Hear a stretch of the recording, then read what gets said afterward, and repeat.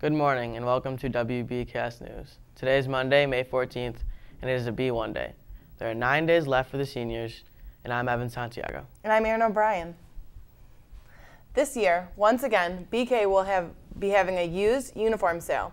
We are currently collecting used uniforms from graduating seniors and any other students who have outgrown their uniforms. Please only donate uniforms that are freshly laundered, gently used, and in good repair. You may drop off uniform items in the main office at any time. We are most in need of boys' uniforms, any sizes, and for larger sizes of girls' uniforms. This weekend, all the students taking art this semester have artwork in the featured in the art piece shakedown at the village gate. The event is from 6 to 9 on Friday, which includes artwork, music, dance, and food. And the showcase will continue until May 19th. Whether you have art in the event or you know someone who does, come check it out. There will be a dress Sunday on Wednesday, May 16th for $2. All proceeds will benefit entrapped children in refugee camps. Make sure to show your support. Seniors, you must submit photos to Ms. Hanson by email at ehanson at bkhs.org or the Network Student Drive ASAP.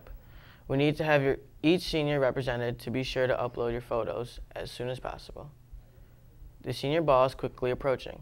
This year, ball will be held on Friday, June 1st from 7 until 11 at the Holiday Inn Airport on Brooks Ave.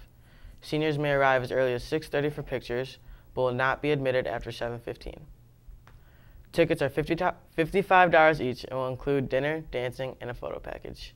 Tickets will be sold starting this week through May 23rd. Tickets will not be sold after May 23rd. Please see Mrs. Grenier before or after school to purchase your tickets or drop off your forms. Mrs. Grenier will not sell you a ticket until all required forms have been turned in. This is sure to be a great night, so get your tickets today. The boys baseball team would like to keep Coach Telix in their prayers. He was hospitalized on Saturday after their game. Coach is recovering, but please remember to keep him in your prayers. I'm sorry to hear about your coach, Evan. Yeah, I found out this morning. Yeah. But, um, I mean, we have a game today, and I know he would be the first one to make sure we're focused and to go get the win. So that's what we're going to do. We're going to go get the win for him. Good luck on your game today. Thank you. We now turn to BK Sports. BK Sports,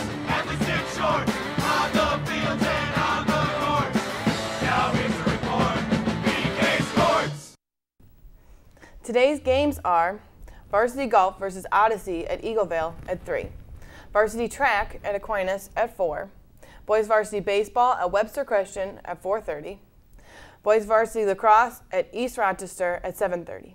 And that will do it for sports. So, Aaron, nine days left and I- we're done. I can't wait. I have I only have 8 days left cuz I have an AP exam. oh, stop rubbing it in. I'm so excited. but uh, starting next week, our weekends look um, we have ball, Yep, actually, pace party, pace party. then ball, Yes. then graduation, Yeah. then the rest of our lives. Just going to be party. Always. Party central. I'm so excited. I can't wait. That'll do it for us at WBcast News. I'm Evan Santiago. And I'm Aaron O'Brien. Have a great day.